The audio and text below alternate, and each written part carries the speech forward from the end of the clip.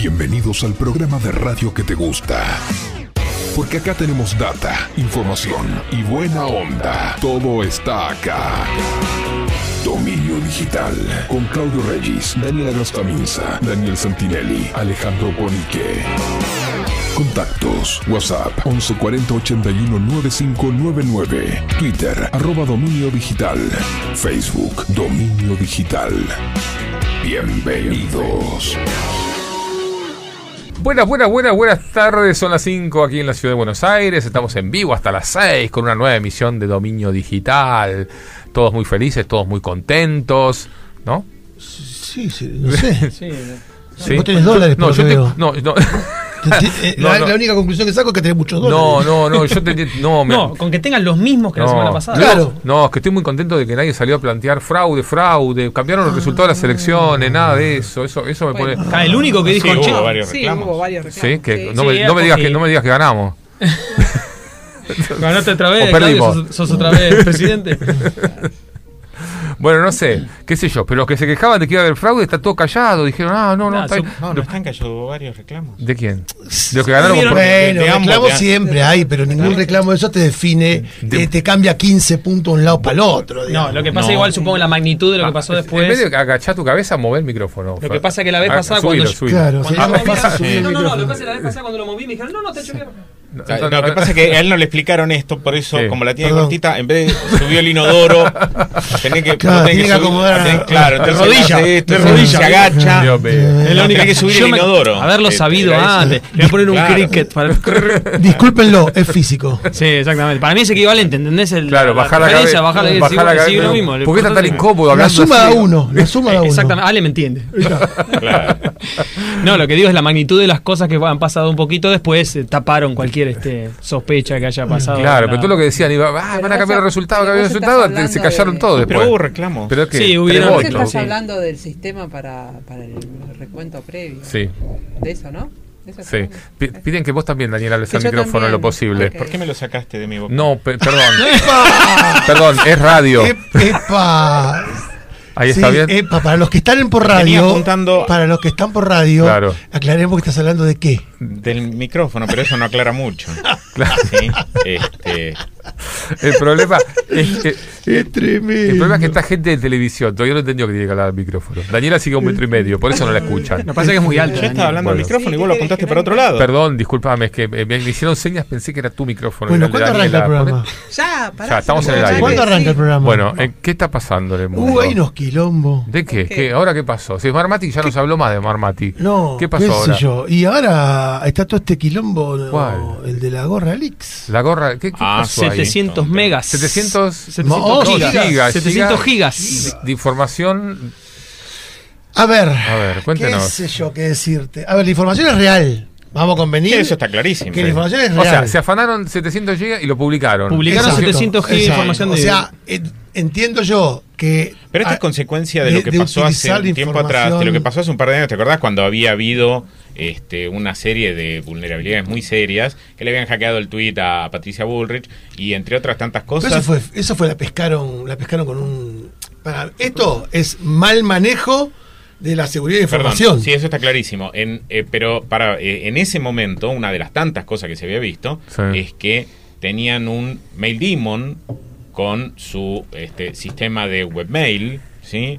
Este, y, y con un telnet la cagaron. y- y, un eh, poco más. Claro, y con obviamente Sí, la más. vulnerabilidad correspondiente, eso expuesto ahí a Eh. internet, este, sin Sí. ningún mecanismo adicional, de Mm. ninguna capa adicional de seguridad, con lo cual Sí. eh, eh, habían leído todos los mails, habían levantado todo. Esto es muy probable que sea continuidad de eso. Si vos tuviste acceso a los mails de un montón de gente, tuviste acceso casi restricto, además de escalar privilegios, hicieron un desastre. Después de ahí, seguramente han obtenido otras credenciales y otras cosas que permitieron seguir entrando a internet. Tuvieron un par de años para divertirse. Pero esto, si no sí. me equivoco, pasó un par de años. Igual la- para mí esto es más, para para mí esto es más simple. ¿eh? Para mí esto es mucho más simple. Vos decís Sí. que es un insider. Para No, mí esto no, esto es descuido no, de la información. No, che, eso- es la compartir teoría. esto, Para- te lo dejo en un OneDrive, play, creamos un OneDrive, te, te escribo acá una carpetita. Sí, Toma, acá está, sí. el- entramos, te comparto. El tipo se fue, el primo lo vio. Le, le copió Sí, el link todo el. Golpeó el Pasan link todo el tiempo. está, papá, Pasan todo el tiempo estas cosas. Y bueno, la persona exacta tuvo acceso a esa información. Y ya está. Ya está. No, ahí la teoría conspirativa esa de que, que insider, que es alguien, de qué sé yo, Ah. esas son las teorías con que Es para salvarse ellos, ¿no? Yo no sé, a veces creo que es un poquito para justificar toda una conspiración de qué sé yo en vez de simple mal manejo de las cosas. Sí. Este, y en parte porque a veces eso existe realmente, o sea, en, en- en muchos ámbitos se miran tanto el ombligo que creen que la realidad solo transcurre por so- los carriles que ellos conocen y que ellos... Entonces, como ellos viven en ese contexto, no entienden las motivaciones. Leí una nota que decía, no, porque esto tiene que haberlo hecho con la intención de... No, hay gente que tiene otras motivaciones en la vida. Esto lo venimos hablando de la noche de los tiempos, desde la época en que el hacking tenía hasta otras intenciones a nivel mundial y había otra cosa.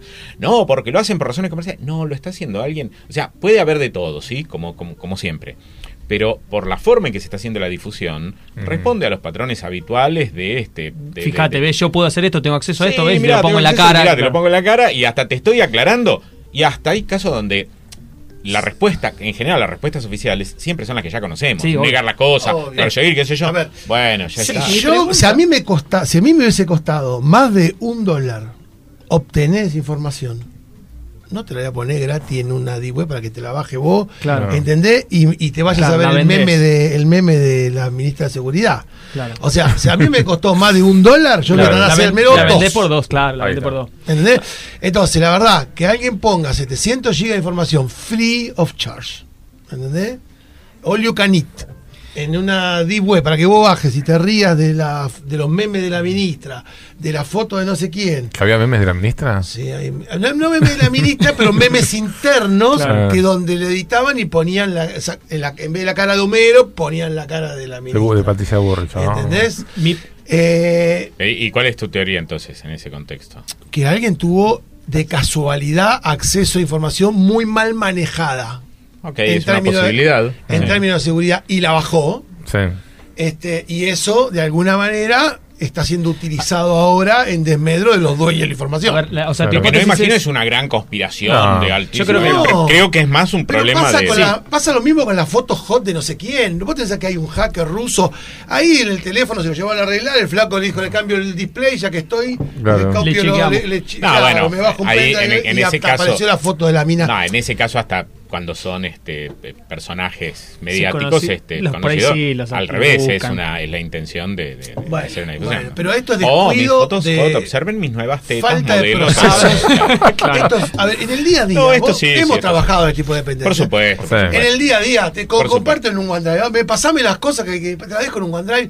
Fíjate ahí en un G- Pero igual un te insisto, te insisto, sin- desde ya que coincido con, con el, escen- el escenario hipotético que planteas, pero más allá de los hipotéticos, en escenario concreto hace dos años, como te estoy diciendo, había ahí un MDemon, Claro. ¿sí? Un Sí. MDemon expuesto Sí, con- este, con, con su webmail y un expuesto. cliente de, de IMAP con su- y te recibías todo en bandeja en tu casa. Eso Claro. sí se lo sabíamos. Claro. este, puesto de una manera donde pueden Mm. haber obtenido ahí tanta información. Vos sabés el laburo, cuando tuviste una Mm. brecha así, de ese nivel, vos tenés que considerar que Básicamente que perdiste tenés- toda la información, se está. acceso a todo. Claro. Y vos sabés lo que cuesta, administrativamente, renovar, tenés que renovar toda tu plataforma, tenés que cambiar todas las contraseñas de la primera hasta la última, tenés que cambiar las configuraciones de toda tu infraestructura del primero hasta el último router. No se hace eso. Vos sabés que no. Yo No, te puedo apostar no a que hace. no se Pero, hizo. A ver, pero para un poquito. Con Esta información quedaron- que está acá, esta información que está acá, que la obtenga o poner que la obtenga el que la obtuvo, ponele que ocurra. ¿Cómo esta información no está encriptada? Claro. Vos eh, decime cómo esta información no está encriptada. Dentro de una dependencia de seguridad. Y bueno, porque el tema de seguridad ponen dos mangos con 50. Estados No, Unidos no gasta saben. 20 mil millones de dólares por año. en Perdón, y también guarda- pierden cosas, ¿eh? Dos por Sí. tres. Perdón, O sea, también habían gastado en Sí. su momento miles de millones de dólares Sí. y los pibes de- del Chaos Computer Club de, de Hamburgo con una Commodore 64 le entraban al Ah, ¿te departamento de defensa. Sí, claro, después les empezaron a notar, por eso dos estuvieron acá refugiándose un tiempo en aquella época cuando lo- después tenían accidentes allá. ¿Sí? Uno accidentalmente este, se, se suicidó de dos balazos en la nuca de 20 metros de distancia. Fue un Bueno, Otro pensá, se escapó. así, cada Sí, cuenta sí. de tres. Claro, exacto. Clac. Otro se escapó y accidentalmente chocó contra un canguro en Australia y el auto se prendió fuego. Y, Sí, y ambos fueron El probados canguro, justo el canguro fumaba. Sí, Claro. sí, che, mi pregunta es, o sea, yo adhiero a esta hipótesis que si vos, eh, eh, eh, el costo que vos tenés te da cuál es el, el- el umbral a partir del cual vos vendés esa información. O sea que si esto está gratis ahí es porque les costó muy poco obtenerla. Eso está Claro. claro. Obvio. Claro. Mi pregunta a raíz de eso, que yo no lo había pensado desde ese punto de vista, es, Pues sos físico, ¿no? claro, yo lo había pensado al revés, viste como recién con el micrófono. este, no, mi pregunta es, ¿cuánto de este, de, de este tipo de información ellos ya han accedido, este tipo ya ha accedido y está esperando a, a liquearla después? Ah, bueno, ya lo ¿Cuánto prometió. Pará, pará, ya lo prometió. O sea, no, no, lo que, lo que accede. Solo los dueños de la información, que saben de dónde la sacaron. Y los que la obtuvieron saben exactamente cuál es el volumen exacto de información. Ojo con algo que hay también, ahí. digamos, Pero ya prometieron sin- que iban a publicar más. sin, sin tener este, sin, sin creer en las grandes conspiraciones, también hay un hecho político en largarla en este momento, esa Sí, sí. Pero eso no necesariamente implica grandes conspiraciones, sino que por ahí quien lo hizo tiene su, Su preferencia. su preferencia y, y Ya que su estamos- propia visión de la cosa. Claro. Dice, ah, lo voy a largar en tal momento porque tengo ganas.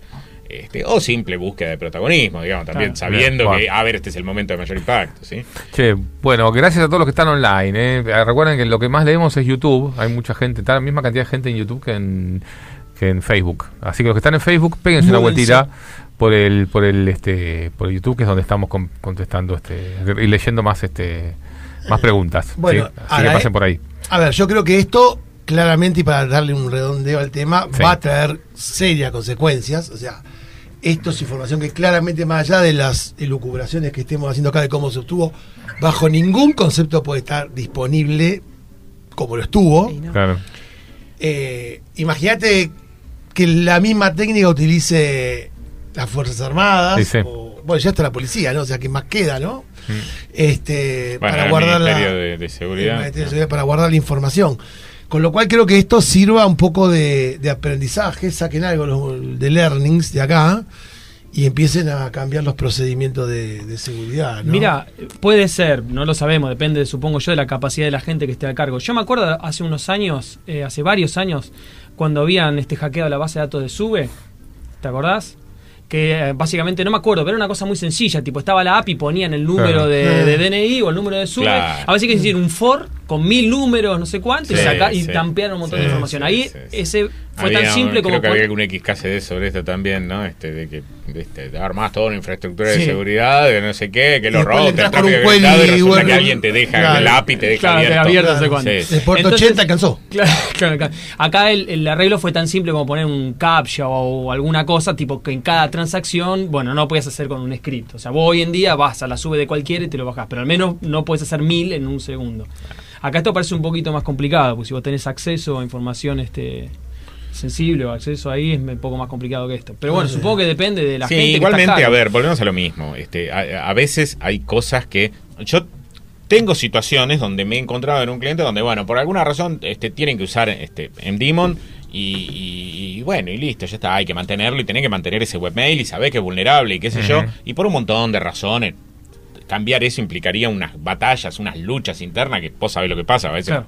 ¿sí? La- la- los espacios dentro. Entonces, a veces lo solucionás poniendo algo adelante con una capa de autenticación previa que sea una cosita chiquitita, así, con una autenticación previa más sólida, un, un mínimo este server web que te haga, te haga una, una VPN en el camino. Una, Claro. A veces hay soluciones Sí. que por ahí no podés resolver el problema de seguridad de fondo, pero al menos, bulk lo- al lo menos hacer. evitas que con un escaneo automático te encuentren eso. Cosas minimalistas, ¿viste? El solo hecho de moverlo a algún port Lo- diferente y poner una autenticación previa. Al quinto intento los desanimaste, ¿viste? Y ya está. Evitás que un escaneo automático de vulnerabilidades te encuentre cosas expuestas de maneras horrendas. Claro, ¿sí? su- subís el costo del éxito del ataque. Sí, y ya sí, con eso con, con mínimo costo de tu parte subís mucho el costo del otro lado, por lo menos la exposición, por lo menos la superficie expuesta, la reducís, qué sé yo. Pero ves situaciones como esta donde ni eso, ¿viste? Porque entiendo que a veces vos decís, no, bueno, tenemos tema de presupuesto, tenemos tema de que por ahí no tenés la gente para hacer tales cosas. las- Ah, ¿Qué le vamos a hacer? Bien, bueno, y entonces. No, vamos a tener varios capítulos por delante. Oh, seguro. Preparate Sí. porque. Ahora, ¿cómo, sabés uno. que, ¿Cómo sabés que los capítulos que vienen es información que realmente salió de ahí o no te empezaron a meter en el medio otras cosas? No hay que esperar O que sea, salgan. Claro. Eso es como que me pregunte qué va a pasar en el capítulo 8 Claro. de Los Marginales. ¿no? Claro, no, bueno, pero ¿cómo sabés? El, el amigo, que salga y te cuento. el amigo Marrone que había, es cierto. claro. había hablado sobre esto este en- búsquenlo como referencia cuando habían sido los, los iniciales y sobre esto, que me, me lo cruzo de vez en cuando por la calle. Sí. Este, A, a usted se lo cruza todo el mundo en la calle. Hay tres Sí, personas por día, me dice, anda por lo voy a Porque yo centro. ando por la calle, por la ando por la calle. Claudio. Todo el mundo. Encerrado ah, el otro casa. día lo voy a echar. El otro día lo vi. El otro día Yo estoy todo el día caminando. Pues, Yo camino mínimo zona 150 céntrica, Y no- claro. Y a ver, Palermo, Recoleta, Barrio Norte, Centro, Puerto Madero, donde hay gente, estoy todo el Ah, tiempo. no te Es podemos una poner de exposición a la cantidad. No te podemos Una en la espalda. volvió dominio digital, que diga. Claro, te vas a Sí, hacer bueno, un pero él ya lo buzo. ves y ya sabe. Un bu- un buzo que diga volvió. Volvió dominio digital. Escúchame y el link. Eh, a el ver, hombre sándwich así con Claro. a- respondiendo a tu pregunta. Sí. A ver, mi evaluación, quizás Sí. me equivoque. Sí. Quizás me equivoque. Bueno, dale, 20 minutos que te está tomando lo mismo. Pará, pero para mí, Es interesante. esto, viste, es como el, el jugador de fútbol. El jugador de fútbol cuando, cuando vos le pegas una patada y realmente le duele y realmente, tipo, no se mueve. Tipo, Sí. no se mueve porque el dolor te deja inmovilizado.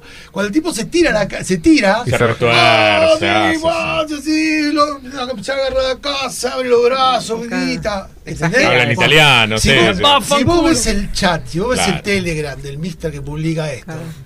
Parece la confabulación de los hackers universales. Claro. El tipo, si realmente es profesional, Sí. musarela, Claro. no te enterás de nada. Sí, claro, ¿Entendés? claro. Deja el link en un lado, tranquilito, se lo da el que se lo tiene Le que vende- dar. le vende esto a alguna banda narco, Te prometo, que te prometo la mar en coche y en capítulo y te Estos, pongo el. estos 700 gigas te los dejo Sí, acá, los otros después 1800 se- gigas te lo vendo por ahí. Entonces, Bueno. Vos decís por que eso tiene yo ganas mi- de aparecer en la mi tele. teoría es que. Bueno. Se está de alguien que se está divirtiendo. alguien sí. está ahí. En fin, bueno, acá Jonathan Tapicer dice: ¿Cuántas bendiciones mandan hoy por un dólar?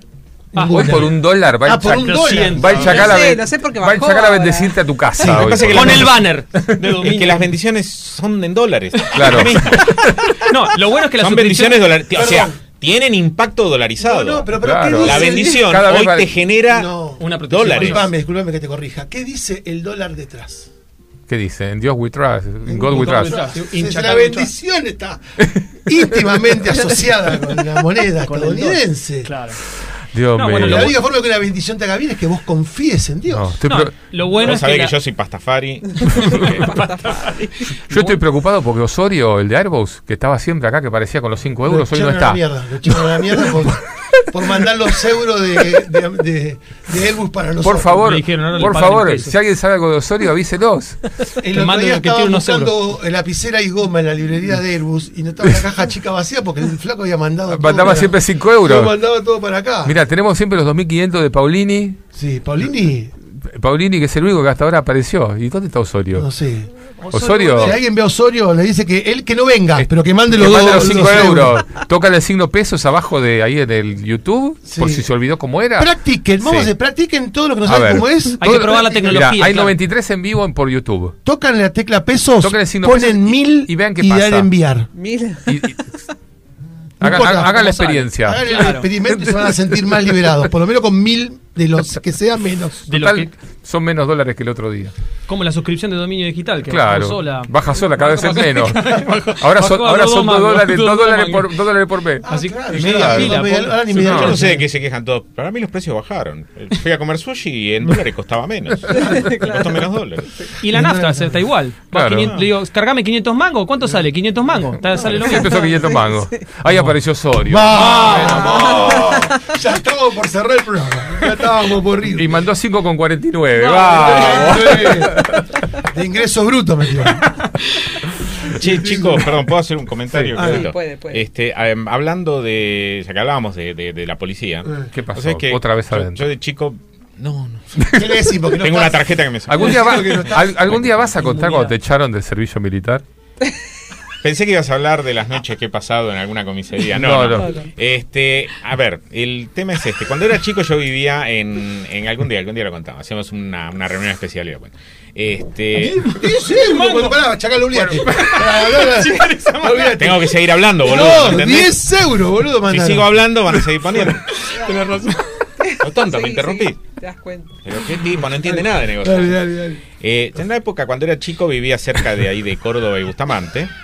Ahí estaba la pizzería Los Cocos, creo que sigue estando. Sí. Y vos sabés que todas las noches veías cómo llegaba el, el móvil policial con el autito, viste, el Falcon azul y celeste. Sí, se bajaba un gordo, iba a manguear la pizza, Sí. iba después a manguear La la el, el- el pollo al espiedo, qué sé yo.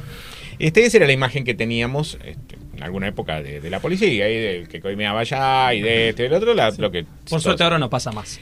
el otro día fui al- a la edición 911, donde fue Claudio la otra vez. Sí. Sí. Este, y, digamos, de alguna manera, yo pertenezco a una generación donde tenemos un poco esa, eh, implantada ya en la cabeza esa visión. de la- y me sorprendió, y como a Claudio, como te pasó a vos, me Hizo la excursión de 911 que fui Sí, yo. sí, sí, sí. Le conseguí Este, un- La verdad me impactó, este, parecía...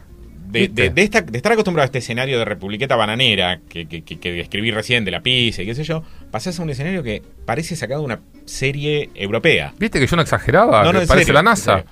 A ver, está bien. Como siempre, es lo que te muestra, está todo muy lindo, siempre debe haber cosas mal, pero lo que ves te impacta, este, es, es, este, es realmente sorprendente.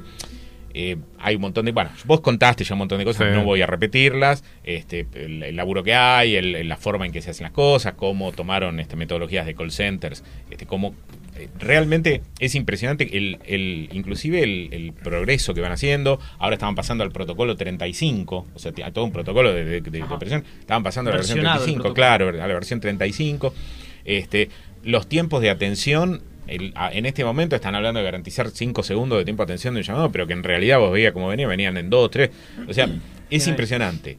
Y, y el modelo cultural, de nuevo, de, de- de recordar el gordo de la pizza a pasar Claro. a un modelo cultural donde vos ves que están laburando en, en control de calidad, en mejora continua, hay, hay gente específica en a ver qué podemos mejorar, hay gente específica en eh, gru- grupos psicológicos para atender al, al personal interno, a la gente que llama eh, eh, divisiones especiales de orientación a la gente, a las, a las personas por en temas, por ejemplo, de violencia de género, cosas. O sea, vos ves que están contempladas un montón de temas, tipificadas las emergencias. Un, a ver, Sí, una quiero decir, organizativa. el laburo que hacemos habitualmente en, en, en, en nuestro trabajo, cuando tenés que organizar dentro de una empresa este, temas de soporte, temas Sí. de esto, de las distintas áreas. Pero lo ves acá, donde vos, de nuevo, donde tu imagen era la del gordo con la pizza, acá ves aplicado todo esto como si fuera este criterio que decís, no esperabas encontrarlos. Claro. De hecho, acá ya esperaba encontrarlos porque Claudio ya lo había dicho, pero, pero realmente llama la atención. Eh, ya- llama la atención de verdad lo, lo, lo- lo que ves. Este, y sorprende un poquito el tema de, creo que vos Claudio ya lo habías comentado, que cerca de la mitad de las llamadas no son emergencias. Son jodas, son este, consultas, falsa alarma, cosas que nada que ver. Eh, e- eso es un tema delicado. Hay que entender que como las los como las, las salas de emergencia de los hospitales, donde están para tratar emergencias, no un Claro. resfrío, este, acá también, si vos llamas al 911, es una emergencia. Y si vos estás llamando para hacer para una boludez, estás ocupando un canal y estás ocupando un operador y estás ocupando recursos que no está disponible que no está disponible para alguien que está teniendo una emergencia real. O sea, por favor, pensemos que eh, tu hijo, tu mujer, tu padre, tu hermano puede tener una emergencia y puede estar tratando de comunicarse en ese momento Claro. y vos le estás ocupando un canal con una boludez. Este es un tema que, Cultural, que- que- que ¿no? hay que porque es la cerca, pero una cantidad enorme, casi la mitad de las llamadas. Es muchísimo. 5.000 llamados Es de que no serían Es para 911. Muchísimo. Este, por lo demás, la verdad que, insisto, vos Claudio ya hablaste bastante, es sorprendente lo, lo- lo- es inesperado, digamos, te, te impacta porque decís, che, la verdad no me esperaba esto. Y una cosa que hablaba con, con Marisol, eh, Marisol es este el policía metropolitana que, que me había invitado a mí, que después me dijo, Claro. si querés que venga alguien más, dije, Claro, tengo la persona... de- de- ideal". de la parte ¿Y- de y relaciones con la comunidad? tiene Chacal para decirle Marisol? Ah, no sé, ¿Tiene no sé. tiene grado, No sé, no sé. No sé. Decir, por favor, la, la, Claro. la comisario Marisol. eh, no, no, no, vos sabés que yo con los títulos y todas esas cosas me confundo, ¿no? Bueno. Soy muy bueno. Yo no soy bueno para eso. Eh, creo que este es- está a cargo de la parte de relaciones eh, con la comunidad. Sí. Eh, me decía que una de las cosas que, que charlamos es no todas están haciendo esto, pero, pero se está empezando a hacer cada vez más esto de tratar de abrir un poquito este, la- la- el trabajo que hace la policía a la, la- la comunidad. Y yo pensaba, esto es un cambio cultural. Claro. Históricamente, eh, la policía era un organismo cerrado, esto era impensable, todo era misterioso, todo era oscuro, todo era una cosa. Y claro, creo que en parte tiene que ver con qué es lo que estás haciendo. Cuando Claro. vos estás con la pizza, el no sé qué, y, y- Haciendo y- trampa. y la policía era inclusive este, partícipe de, de- de- de toda una situación durante la época del proceso y qué sé yo, este, obviamente tenés que cerrar la puerta y esconder lo que estás haciendo. Cuando vos crees que estás haciendo las cosas bien y estás orgulloso de lo que estás haciendo, querés mostrarlo. Es natural. lógico, ¿viste? Vos claro. decís, che, loco, esto está bueno, esto que estoy haciendo. Tengo ganas de mostrarlo. Además del efecto disuasivo que tiene, porque esto también es interesante, ¿no es cierto? Eh, el, el- el mostrar la, la- la buena acción tiene un efecto disuasivo. Si vos decís, "Eh, esto anda con la policía no sirve para nada, qué sé yo, uh, muchachos, llegamos a los chorros de todo el mundo que vengan acá Ese. cuando vos mostrás que la cosa está funcionando y mostrás lo que estás haciendo y, y- y mostrás- pero pero digo a nivel interno creo que hay una apertura basada en que hay un cambio y, y- y al estar haciendo, al sentir que están haciendo las cosas bien, porque transmitían eso Claro, un poquito. sí, sí, están Vos- orgullosos de lo que la- cuentan. claro, Claro. vos ves la gente, están orgullosos, están, se sienten Motivados, están, contentos sí. de lo que están, transmiten esa impresión de que están orgullosos y contentos de lo que están haciendo y que quieren mostrarlo porque sienten que lo que están haciendo realmente está bueno, realmente Y con una base. de estar bueno. Y la base tecnológica es tremenda, porque esto sin tecnología. Claro, bueno, a ver, algo Este, de lo que vos ves, claro. inclusive me llamó la atención. Vos veías ahí los mapas con todo, ve, parecían llenos de pitufito por todos lados. este, y ves cosas que, a ver, es lógico, por supuesto, que haya ciertos temas que, que- que no se comentan porque, por cuestiones operativas, ¿no? Esto Claro. tampoco quiere decir. Pero el criterio de apertura está bueno. Inclusive eh, eh, explicaban eh, cosas que después yo lo asocié con lo que veo en la calle y cuando ves en la calle, uh, acá están parando, eh, tales autos, motos o esto, va, esto están buscando una cosa. No, resulta que todo un operativo organizado de una manera que hasta está bueno, porque vos cuando estás en la calle lo percibís como acciones individuales, pero cuando estás ahí estás viendo Está que coordinado, no, que es- claro. claro, claro, en, el, en el- la vista de, de dron, digamos, estás viendo un operativo de, de- de otra magnitud. Ojo con lo que digo siempre, hay que tener en cuenta otros aspectos. Una de las cosas que yo les planteaba es, muchachos, todo muy lindo esto, pero por ejemplo, con el tema de personas desaparecidas que les están buscando, que nadie desaparece, planteaba el típico caso, este, sí, yo tenía un amigo que la mujer llamaba y decía, ah, mi marido desapareció, y resulta que él no tenía ninguna gana de que lo encuentren, porque estaba con una loca. claro, entonces es, ¿qué pasa en esos casos? Si después lo encuentran, justo un control vehicular, lo, ah, usted, lo- encontraron usted lo está buscando. Le avisan Offside. a la mujer, le avisan, no, sí, le muchachos, pero ojo que acá hay temas de privacidad, se empezaron a mirar entre ellos y decían, no, claro, sí, o sea, no, bueno, bueno, no, le decimos que lo están buscando. Digo, ahí también hay... Por supuesto, el sesgo que tienen ellos, ellos están todo el día manejando emergencias reales, situaciones donde Claro. eh, su visión es desde a, el a lado... ellos les pesa menos emer- el que hace la trampa, claro, para, e- para ellos. Puede ser un tema comercial, puede ser un tema, lo que sea. Lo que Sí, pasa sí. es que de, de millones de personas son más los que están en esa situación que los que están en una emergencia, ¿no es cierto? Pero, este, digamos, quiero decir, hay... eh, lo bueno también de esta apertura es esto, es que Que vos podés plantear empiece a ver cosas, claro. empiece a haber mecanismos de, de auditoría, de participación. Y esto, vos hablabas bastante del Sí. tema cámaras, por ejemplo, lo Sí. hemos comentado mucho.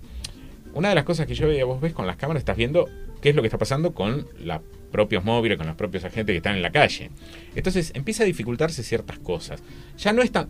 La tecnología que, que genera una serie de cosas también genera las, los anticuerpos de otro montón de cosas. Por ejemplo, hoy es mucho más difícil, viste, Eh, una situación de que vengan, de que te coimeo, qué sé yo, porque no sabes si el acompañante que está en el auto está con el celular firmándolo, le está haciendo la cámara Claro. y queda después el video. Entonces eso lleva a que todos sean más prolijitos, todos Claro. laburen con más cuidado. Todo. Ya no es tan fácil, viste, que vos tengas el, el cana que está con el trapito que labura para él. Porque ahora, si tenés las camaritas, lo están viendo de todos lados. Se empieza a complicar. Por supuesto que esto en la medida en que exista una voluntad general de hacer las cosas bien. Porque si el día de mañana usan la cámara para controlar que el, el trapito esté laburando y que después pase lo que tiene que pasar y Claro. se usa para la estructura Para de al recolección. revés. Claro, claro, por eso siempre, viste, la tecnología es una herramienta que se puede usar para un lado o para el otro. Este, en la medida en que se usa de la manera correcta, eh, Me parece que un, un sistema cualquiera, cuanto hay más gente que está mirando, es un control mejor. Cuanta ¿no? más gente y más gente participando. Por eso este tema de apertura a la comunidad, que yo decía como un cambio cultural, esto me parece importantísimo porque, porque permite múltiples niveles de, de- de- auditoría y de control. AMS ofrece soluciones para industrias en control de calidad e impresión 3D de polímeros y metal, comercialización de máquinas de medir 3D, escáneres e instrumentos manuales de control, robótica y automatización. AMS, representantes de Stratasys, MakerBoot, Desktop Metal y Carl Zeiss, 11 4571 9875. Ventas arroba amsarc.com.ar. Cuttercraft, impresoras 3D, producción nacional con calidad de punta mundial. Potencia tu desarrollo. Búscanos en Google. Cuttercraft. Grilón 3, filamentos para impresión 3D de NTH Grilón. Desde 2014 acompañando el desarrollo de la impresión 3D en Argentina. Visítanos en nth.com.ar o en Facebook y conoce nuestra red comercial y gama de productos. Grilón 3. En Filamento Ya vas a encontrar variedad y un amplio stock en material para impresión 3D. Despachamos en el día a todo el país. www.filamentoya.com En ProSoft vas a encontrar calidad y variedad en racks, tipo mural o pie, compatibles con métrica ETI, estándar internacional de 19 pulgadas y norma ROS. ProSoft 011 3220 7134 www.pro-mediosoft.com.ar ¿Querés alojar tu página web, potenciar tu negocio, crear un sitio de forma simple y profesional? En Latin Cloud tenemos las mejores opciones para vos. Latin Cloud. Entra en latincloud.com y entérate. Latin Cloud. Conectamos Latinoamérica. Tenemos de todo para vos. Un programa bien completo. En tus parlantes, Dominio Digital. Un programa de radio hecho a tu medida. Bueno, seguimos aquí en Dominio Digital. Momento de recibir a nuestro invitado, que es el señor Tomás Nattenson. Alguien que conoce mucho de los sistemas, ya que hablamos de la ciudad, que el Chacal estuvo ahí visitando el 911. Este, yo a, a Tomás lo conocí también en la visita anterior al centro de monitoreo. Estoy así en mi gira. Y el otro día estuve en el Archivo General de la Nación. Invitado, claro, invitado. Y no, pero siempre el tipo que hace una pregunta inteligente, digo, ah, ¿cómo sabe tanto? Pues ya no pregunta, sí, ¿eso es una cámara en color? No, el tipo que tiene Yo día fui- conocimiento. ayer fui a la pizzería y dije una pizza. Sí. Me dijo, ¿de morrón o de mozzarella? Hay que traerlo dije, Hay que traerlo Claro, lo traigo ese. Sí, traigo el mozo para que me explique. ¿Cómo No, no. Perdón, no es nada con vos, ¿no? Pero No. es con él que va a No, pescar no, no, no. invitado. No, eh, yo, cuando detecto una persona que me parece que tiene conocimientos, que tiene información y qué sé yo, Ah, bueno. le digo, che, vos, a ver, ¿por qué sabes tanto Ah. de esto? Y como él hacía preguntas, ahí estábamos en la reunión, y Ah, hacía preguntas que más vos no podías que- hacer. que, yo no podía hacer, Perfecto. este dije, es un invitado para dominio Tengo una digital. pregunta. ¿Qué Sí. preguntó él? Era así la pregunta. A ver, una de las preguntas inteligentes que según él hiciste, ¿cuál fue? Eh, en su momento, cuando arrancamos, eh, consulté, por ejemplo, por qué usaban mouse para operar las cámaras y no utilizaban un joystick estilo PTZ, por ejemplo. Exacto. Este, ¿Por qué? ¿Por A mí qué? se me ha ocurrido, ¿por qué? Porque es más barato el mouse que el joystick tipo PTZ. Yo pensaría en eso. yo pensaría, yo también pensaría en eso y no fue la respuesta. no fue la respuesta. Fíjate qué pregunta importante la que Mirá. hizo el, el Este, señor. plantearon que era más estable y más cómodo para los operadores operar con mouse. Y que si te rompe el otro aparatito, tenés el Eso, mouse. porque no te quiso decir que era más barato el Eh, mouse. sí, es que conocemos un poco del tema. No, lo que pasa la que en el diseño del protocolo, eh, no Claro. sé qué, claro. era más fácil instruir a las personas usar un mouse. inverso. Exactamente. Sí, sí, absolutamente. Sí, Tomás, ¿qué tenés que ver vos? Porque lo tengo en el, como contacto en, este, en WhatsApp y siempre está rodeado de bomberos. Te, cu- te cuento, él, él era bombero en Sarandí. Seis meses. Seis, meses lo, lo, lo, este, después le- No, no, después subí a la comisión directiva. O sea, Claro, enseguida Ah, se puso- bien. Y ahí lo prendieron fuego. Vos sabés, Claudio, que se presta a malinterpretación esto. que hace rodeado qué? de bomberos, las mangueras, no sé No qué. sé. Bueno, acá- Esto no entienden nada. Acá tenés un bombero, o sea que todo lo que vos digas, él lo, él lo puede certificar como ex bombero. Pará, ¿por qué estás rodeado de bomberos? Eh, yo estuve en su momento en Bomberos. ¿En cuál? Eh, estuve en Vuelta de Rocha y en Bomberos de San Telmo. Bueno, tengo una tengo la pregunta clave para, Pará, determinar pará, pará, si los miento pará, o no. pará, pero no es bombero, o vos sos bombero, fuiste no, bombero. no, no, llegué a ser No bombero, pero sigo trabajando para Ahí está, pero bomberos. tengo Y ahora- una pregunta clave para saber si nos está caminando o no. Sí. Nosotros acá testeamos todo. Listo, ¿eh? listo. adelante. ¿Cuándo es el día del bombero voluntario? El 2 de junio. Pero ¿por, por qué te crees que lo invité? Creemos, le creemos. Perfecto, perfecto. Le creemos. Bueno, Pará, hoy- ya estamos. A todos los que le piden donaciones en la calle, esos que están pintados, ustedes cuando palen el auto le dicen, yo te dono 500 pesos. Pero me decís Pero me cuándo decís es. cuándo es el día del bombero voluntario. Eso que son bomberos voluntarios, lo que se supone, lo que están ahí, ¿no? Y salen todos corriendo, ni hay idea cuándo es el día del bombero voluntario. Es Muy una bien, fiebre, es tremendo el tema de los bomberos. muy bien. Yo traba- estuve trabajando hace poco en Bomberos de Sarandí. Eh, ¿En la empresa que les montó el sistema de comunicaciones es la empresa para la cual yo trabajo, Handy Lanús. Ajá. Así Ajá. que eh, por eso estamos también muy vinculados a, a bomberos. ¿Y qué, cuál es tu trabajo? Porque ya te digo, veo mucho que estás vinculado con el tema de bomberos. ¿Qué estás haciendo para los bomberos? Yo para los bomberos esencialmente lo que estamos haciendo es eh, sistemas de radio de dos vías Ajá. para comunicaciones eh, de, los, de los cuarteles y también desarrollando cuestiones de soporte digital, estilo GPS para los móviles, digamos, diferentes aplicaciones de, de utilidad para emergencias. Y cómo, digamos, eh, eh, lo que decís de comunicaciones de dos vías y demás, ¿e- ¿era algo que se venía usando y están actualizando o están mejorando o están... ¿qué, qué- Es algo que se usaba mucho en su momento Sí. eh, a nivel civil, era el teléfono celular de la mayoría de las personas, la radio, y bomberos lo usa como una herramienta de trabajo. Ajá. Y cuando empezó la telefonía celular en Argentina decayó muchísimo y bueno, todo lo que es la parte de mantenimiento y demás quedó extremadamente atrofiada. que pasó a usarse, pasó a usarse Eh, la red pasó- celular pasó a básicamente? usarse la red celular, Claro. WhatsApp, la telefonía, Ajá. entonces todo lo que es la parte de comunicaciones se dejó de dar importancia. ¿Que antes que se usaba? Eh, radio, VHF, BLU, banda ciudadana, Lo que pasa es que aquí hay que entender que ante una situación de emergencia, catástrofe, te quedas sin telefonía celular. Obvio. Sin ir Como lejos, pasó la otra vez luz fue el corte de luz. Claro. ¿Cuándo se le va a cortar la luz a toda la Argentina? Nunca. Nunca, el otro día se cortó. El otro día se cortó. Bueno, y lo único que seguía funcionando establemente eran las repetidoras de los cuarteles de bomberos, por ejemplo, que son clientes. Ajá. Una de las que más usó fue la de Domínico Wilde, que estaba capeada con batería y un sistema eólico, por ejemplo. Autosustentable. Y se tiró un rato largo más. Sí, sí, no, Ah, no, se- ese podría seguir funcionando. Está puesta en un tanque de agua Claro. en Wilde a 70 metros de altura, completamente despejado. El viento que sopla ahí arriba es impresionante. Ahí en Ri- en Ri- en Rivadavia, en la calle, no me acuerdo. No, no, no, está pegado a la autopista. No conozco Ah. los nombres de las calles, pero es un complejo Ah, de edificios lado que está en Wilde. Exactamente, Ya, sí. ya, ya, ya, Sí, sí, sí, sí. Ya, ya, ya. Bien, y con respecto al tema comunicaciones de la ciudad, ¿vos sabés que Sí. se utiliza? Sí, este, conozco bastante la, la ingeniería de lo que se hizo acá en Capital. Eh, arrancó en 2012 Ujú. con la policía, con la creación de la policía metropolitana eh, y el CUC en Chacarita, el Centro Único de Control y Comando, que es donde hoy está el monitoreo también. Claro. Eh, se creó eso para la policía metropolitana.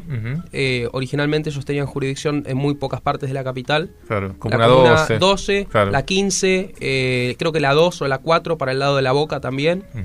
Entonces, este sistema se implementó para las comunicaciones de la Policía Metropolitana, originalmente, defensa civil y logística del gobierno de la ciudad. O sea, una, una- originalmente la idea es que sea para el gobierno de la ciudad Claro. y las divisiones que lo usaban eran muy pocas. Era un sistema chico.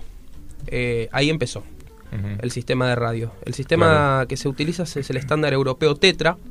Se estandarizó Tetra porque la metropolitana era una copia textual de la, del estándar de policía inglesa. Ah, mira, no sabía. Fíjate las gorras que parece la, Mm. la línea de meta de las pistas de carreras, o sea, un montón de, de cuestiones y el sistema de radio obviamente europeo. Así que ahí empezó. ¿Está encriptado eso? Está encriptado, Sí. eh, no todos los grupos, la mayoría están con estándar de AES 128. Ujú. eh, contra el estándar está, de AES siempre. 256 que utiliza la Policía Federal Argentina es un buen estándar de encriptación. Y Sí, claro. bueno, por una cuestión, algunos grupos de licencias, de tasa de pérdidas de paquete, o sea, pérdida de información, algunos grupos no se encriptan. Hay que ver dónde lo usa la policía porque si no, no estaríamos hablando del primer bloque, ¿no? Claro. Bueno, la radio, pero cuando se lo dijo por radio nadie se enteró. Ah, es verdad. Cuando lo dejaron en el drop, sí. Perfecto. Bien, y vos sos, vos sos radioaficionado. Yo soy radioaficionado. Porque acá justamente están preguntando en el chat de la gente que está en YouTube. Dice, Sí. bueno, hay un radioaficionado por acá y, está- y empezaron varios y hay un montón de radioaficionados, veo en el, Ah, en el grupo. Bueno, entonces Este, mando saludos a los colegas radioaficionados. Yo soy LU8 Charlie Alfa Tango, CAT. Bien. ¿Y por, por qué, por qué alguien hoy sería radioaficionado? Ya no, es- ya no es algo medio vintage. Es digamos? algo vintage. Sí. A mí me, me surgió, no sé de dónde. Sí. Eh, yo cursaba la primaria en Palermo, eh, cerca de acá, en Serrano eh, 1320. Sí. Es Serrano y Niceto Vega. Y hay muy pocas cuadras, está Multiradio, la, Claro. la casa de comunicaciones. Sí, sobre Córdoba. Sobre Avenida Córdoba, sí, siempre por mano sí, izquierda. Sí, sí. Y salí a almorzar y me gustaba pararme en la vidriera de chico a mirar A equipos mirar de radio y Ajá. a entrar a preguntar y demás. Eh, sí, Porno. exactamente, me llamaba la Sí, atención. no tengo familiares directos que hayan Ajá. estado en el ámbito y me surgió solo. Entonces ahí fue cuando digo, esto me gusta, a ver qué hay para hacer acá. Claro. Y ahí descubrí la radioficción, Claro. Desde- desde- ¿Y a qué edad te hiciste radioaficionado? a los 12. Ajá. Rarísimo. Sí, No, súper no- raro, mis no viejos no entendían nada, mi mamá que... Eh, Claro. Te tengo que firmar papeles para el ente nacional de las comunicaciones. ¿Qué es esto? ¿Qué me vas a hacer firmar? Nos van a venir a allanar la casa. Es- es- tiene algo que ver con el plutonio, te preguntaba. Claro, Claro. claro, nada que ver. Entonces ahí Claro. arranqué con... ¿Y hoy qué hace un radioaficionado? ¿Es lo mismo? ¿Es el mismo radioaficionado que en los 80 o...? Actualmente el rol del Sí. radioaficionado este, es tiene- nos intercomunicamos entre nosotros muchísimo. Sí. Hacemos mucha experimentación de diferentes equipos, sistemas Sí. digitales. Colaboramos a nivel nacional con diferentes cuestiones, catástrofes, simulacros con la defensa civil. Ajá. Hace poco Defensa Civil de la Nación hizo una invitación a radioclubes y aficionados a la sala de situación que tienen ellos Ajá. eh, para hacer una especie de para evaluar hacer un tratado conjunto de colaboración con Defensa Civil de la Nación, por ejemplo. Mira qué bueno. Eh, y también tenemos un rol social bastante importante.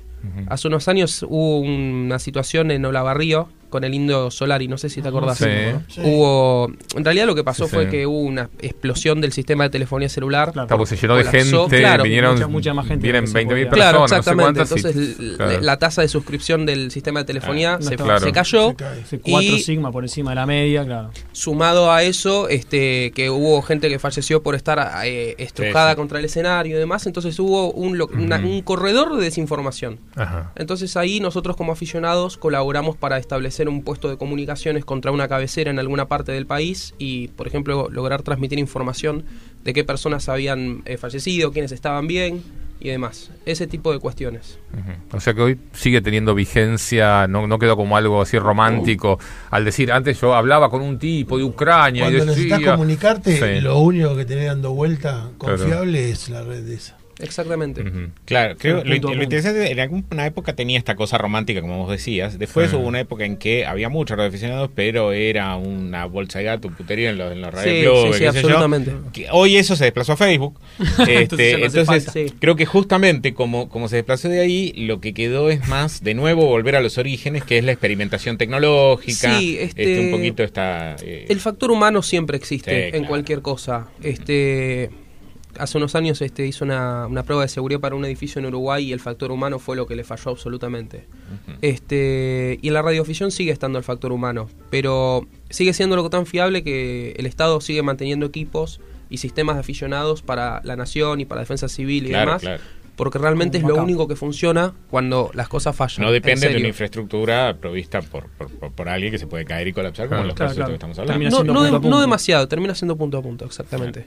Bien, yo el otro día te preguntaba si, si, si se puede, si es legal, si existe la posibilidad de, de- de escuchar distintas frecuencias, lo que puede ser de pronto, no sé, bombero, defensa civil, aeropu- el aeropuerto, eh, todo eso hoy está, está ¿El abierto. tu mujer escuchable. querés escuchar vos? No, ni, ni quisiera, mire. Ni quisiera. No, no, Mejor no. no saber. Mejor no saber. Es interesante. eh, en Estados Unidos, la FCC, la Sí. Federal Court Commission, o sea, Sí. la Comisión Federal de Comunicaciones Americana, Sí. lo que establece es que se puede escuchar cualquier transmisión que no esté encriptada, sea analógica o sea digital Claro. no encriptada. Claro. Ejemplo, yo pongo mi servicio de radio taxi en una frecuencia de radio, Ujú. en FM, Sí. compras una barredora, lo escuchás, no estás cometiendo ningún delito. Por el contrario, si te compras un transmisor y empezás a Claro, bardear, a molestar, le expulsas y no los No, dejas hablar, cosa a interferir. Entonces, eh, acá es como un bache, porque no está muy reglamentado que se puede escuchar y que no. Claro. Eh, Bueno, yo lo- todo lo que todo lo que no está prohibido está permitido por la, la Si no Constitución Nacional lo dice muy si no está claramente en el artículo significa 19, que- así que Exactamente. Sí. Es decir eso. Eh, a ver, claramente no nos vamos a poner a desencriptar una de 128 para escuchar la policía. Eh, si pudiéramos hacer eso, Se- este, sería- no- sería no, nos dedicaríamos a escuchar a la policía, No, sino no, que no, estarían- nos dedicaríamos a hacer otro montón de cosas. Sí, Claro. absoluta, absolutamente coincido con ustedes. Igual no Empezaría por ir a buscar el premio Nobel que me inventarían para eso. Sí. sí, sí, sí, con la computadora cuántica Claro, abajo, abajo claro. del brazo. Claro. Sí, claro. La, la Este- compacta, la, como- la- claro. la que todos los gobiernos niegan tener. Sí. Y entonces, escuchar se puede escuchar. Realmente la digitalización está teniendo un golpe muy fuerte este año y el año pasado. Eh, muchos municipios, muchas empresas, muchos servicios de distintas índoles han decidido digitalizarse.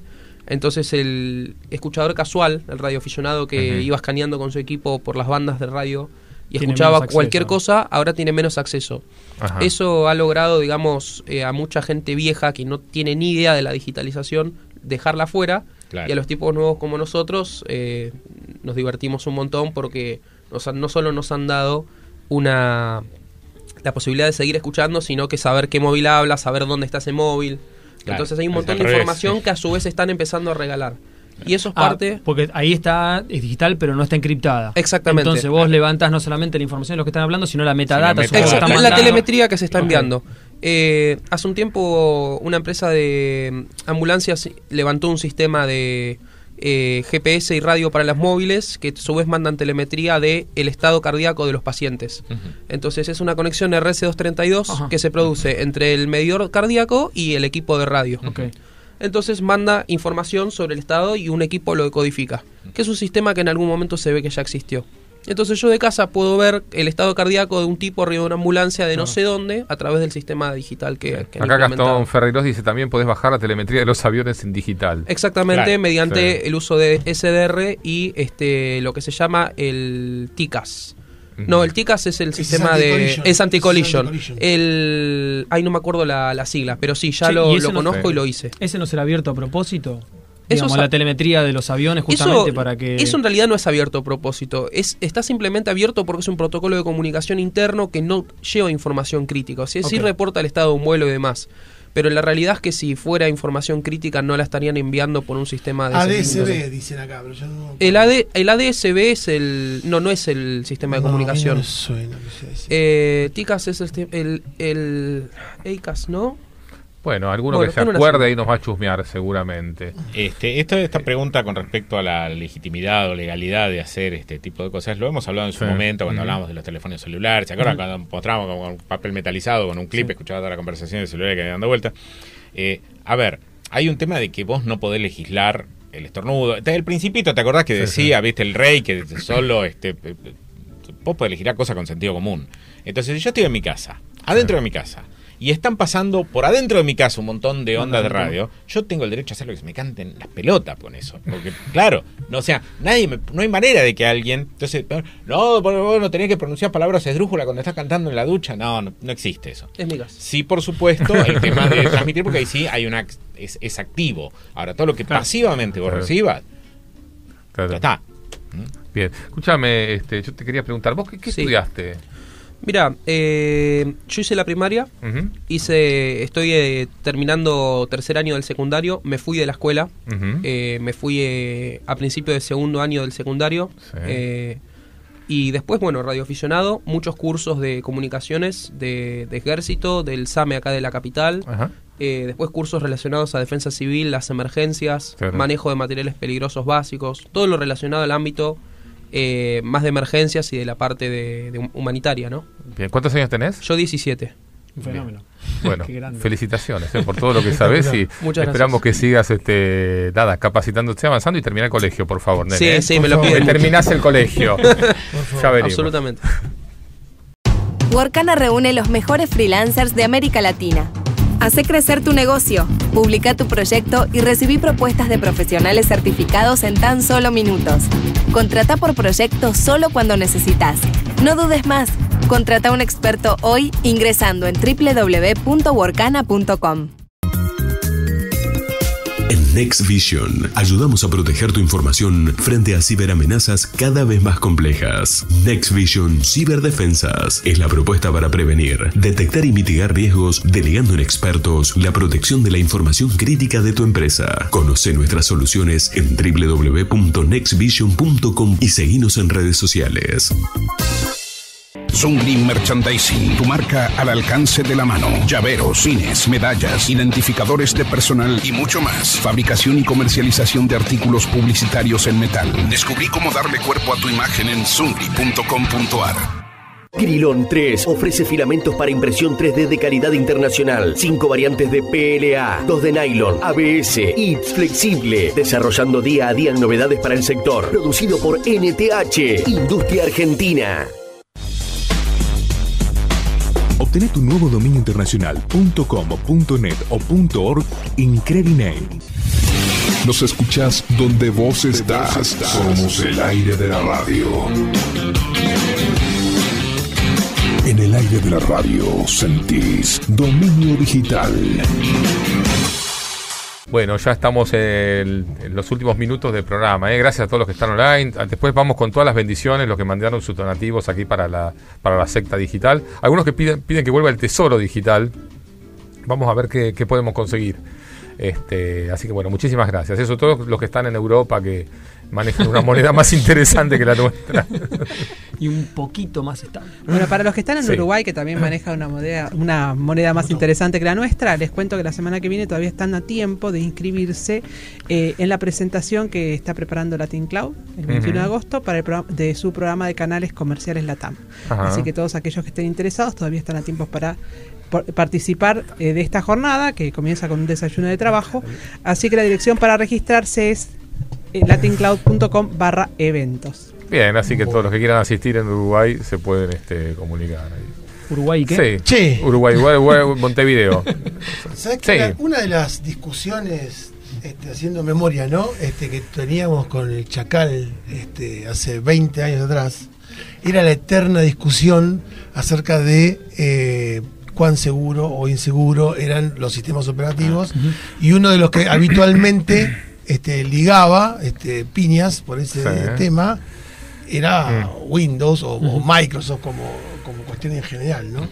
Entonces, eh, hoy este, dije, vamos a ver cómo está el panorama hoy, pasados 20 años, en términos de vulnerabilidades, ¿no? Entonces este, dije, a ver, sigue estando esa sensación de que Microsoft es un colador, un queso gruyere que le entra por todos lados, según se discutía y algunos afirmaban hace 20 años atrás, este, ¿cuál es el panorama hoy? Entonces, mucho mejor, eso está clarísimo. viendo el panorama, Cambió radicalmente la actitud de, de- de Microsoft con respecto a la seguridad, justamente a raíz de eso, de que De que era un colador, Bueno, qué sé si yo. Chacal ahora me va a sacar el tema y va a opinar No, no, él cambió. lo contrario de lo que opinaba hace 20 No. años. Este, No, pero este, Pero para, para, para, para. ¿Cómo, este, cómo voy a No, no, yo- y si otro, ¿cómo no? No, no. Hace 20 años la realidad era una, hoy en día, justamente, gracias a todas esas críticas, este cambió Bueno. radicalmente en su Bueno, tengo una tablita ahí. Torvalds. Tengo una Ha tablita, no, sé si, mucho. no sé si estamos viendo, vamos a ver. Pero mirá la tablita que estamos viendo ahí. ¿Qué fue? Donde los. Vamos a filtrar por un sistema operativo, ¿no? Que son los, los, los, digamos, los primeros que están ahí arriba, porque ahí está Firefox, está Chrome. Chrome no es Chrome OS, así que este es el navegador. Pero fíjate los primeros cinco: Debian, Linux, Linux kernel, Android, Mac OS X, Ubuntu Linux. Son los cinco sistemas operativos con más, Más reportes de de todo tipo de, de todo tipo, ¿no? Por supuesto que si mirás 01 son casi ninguno tiene, 1, 2 ya empiezan a tener y por supuesto más de 9 que son Perdón, las creo menos que no es específicamente críticas. sistemas operativos, sino productos en general, porque Sí. hay distintos tipos sí, de sí, cosas. sí, sí, sí, porque Por yo, eso este, tenés es, este varios. el que tiene productos, sí, sí. Sí, Pero de hecho, foco sí, de hecho, en si los sumas, si, si, habrás, si hablas de sistemas operativos puntualmente, este, Lo Hay que tengo filtrar. filtrado también ahí estás viendo este de distribuciones. producto, este es de Es- producto. es- no, estás, no estás hablando de sistema operativo, sino de, De distribuciones. distribuciones, Porque, por ejemplo, ahí podés hablar de Pero vulnerabilidades. Linux kernel es, cross a las distribuciones. Ahí sí, sí, Ahí, sí, sí. Que es el número 2. Ahí sí estás hablando Para de- decirte, de- ¿no? del kernel, señor, claro. señor Chacal. Sí, señor sí, Chacal. sí. Y eh, el, recién, recién, el primer producto ahí que aparece, digamos, es Windows Server 2008, está bastante viejo, que ya hace bastante que no tiene soporte. Y el que todo el mundo tiende a utilizar hoy, que es Windows 10, está en el puesto 19. 19. Entonces, un poquito esto para, para comparar, y, y está, es correcto, yo te he buscado un Sí, poquito, sí. te, te, te peleaba un poquito para ponerle color al tema, pero, pero está claro lo que vos decís.